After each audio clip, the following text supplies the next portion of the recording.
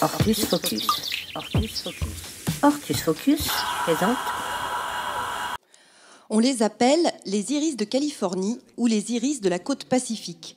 Jean-Claude Jacob s'est fait une spécialité de la culture et de l'hybridation de ces iris, pas vraiment comme les autres. Contrairement à la majorité des iris, ils acceptent des sols plutôt acides, neutres à acides, type terre de bruyère, euh, terre à rhodo, ce qui est différent donc des autres iris, notamment des iris barbus.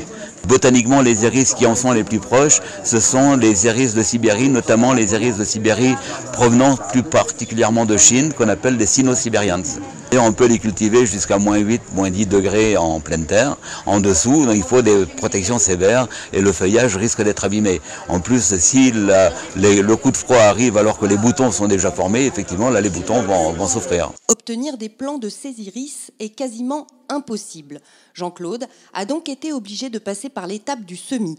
Et il est aujourd'hui le papa d'une douzaine de variétés nées en Bretagne. La seule solution que j'ai trouvée, parce qu'il était impossible de les faire venir des USA, ça a été d'adhérer à la Société américaine des iris de Californie, qui ont un service d'échange de graines.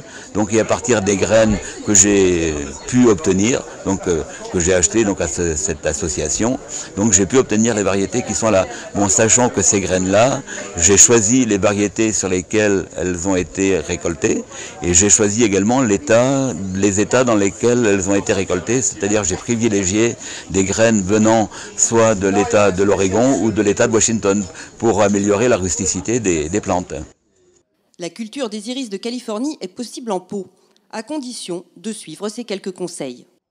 On peut les cultiver en pot. Par contre, il faut les planter dans des pots qui font au moins 20 litres parce que la touffe va s'étoffer relativement vite.